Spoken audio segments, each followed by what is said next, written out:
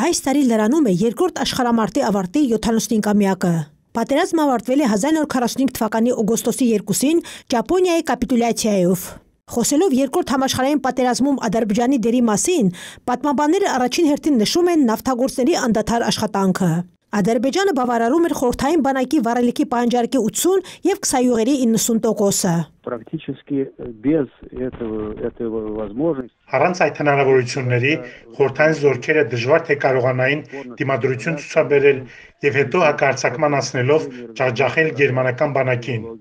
Ադրբեջանական նավթը կարևոր էր ոչ միայն վառելիքի, այլև պայթյուցիկ նյութերի արտադրության համար։ Երկրորդ համաշխարհային պատերազմի տարիներին Բաքվում արտադրվում էր ավելի քան 130 անու զենք, այդ թվում Կատյուշա համազարգային կրակի ռեակտիվ համակարգեր։ Ռազմաճակատ մեկնեց Ադրբեջանի ավելի քան 640 հազար բնակիչ, որի շուրջ կեսը տուն չվերադարձավ։ Ադրբեջանի ավելի քան 100 հազար բնակիչներ ֆաշիստների դեմ պատերազմում ցուսաբերած արիության եւ խիզախության համար պարգեւատրել